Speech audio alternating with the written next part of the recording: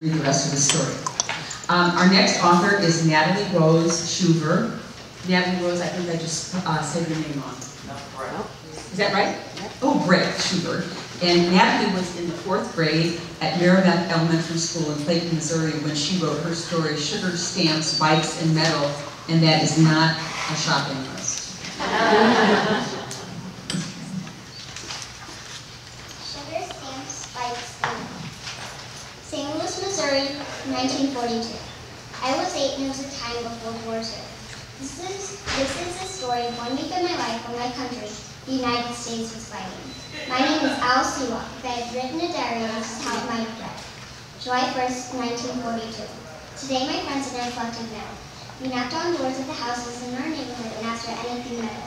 Chicken wire, tin cans, or aluminum foil from the gum wrappers, which we saved in balls till they were large enough to be collected. Then a truck drove by. We put all the metal in the truck. The truck driver takes the metal to a collection site from where it is used to build tanks, ships, planes, and bombs for the war that is going on. My friends and I plan to do this every day until the war stops. July 4th, 1942. Today is the day I was to ride bicycle. It's my birthday.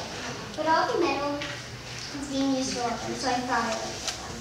But then Grandpa Dave found somebody to make a bicycle for me out of used bicycle parts.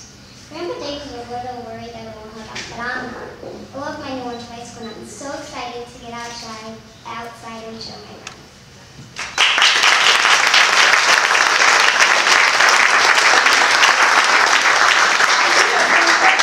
Natalie, do you keep a diary yourself?